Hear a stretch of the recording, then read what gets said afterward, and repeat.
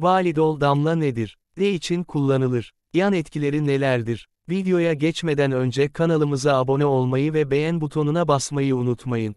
Ruhsal sıkıntı, kaygı, sıkıntı, huzursuzluk hissi durumlarında kullanılmaktadır. Anksiyete ya da yaygın anksiyete bozukluğunun tedavisinde tercih edilir. Akut ya da kronik kurdeşen, ürtiker sorunlarının ortadan kaldırılmasını sağlar. Ayrıca cerrahi girişimlerden önce kullanılır.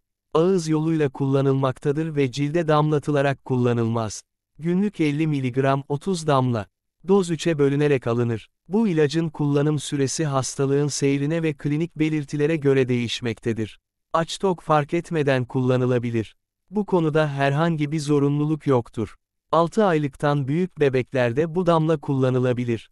Hamilelikte, gebelikte bu ilaç kullanılmaz. Emziren annelerde bu ilaç anne sütüne geçmektedir. Emziren anneler bu ilacı kullanacaksa emzirmeyi bırakmalılar. Kanalımıza abone olmayı ve beğen butonuna basmayı unutmayın. Sağlıklı günler dileriz.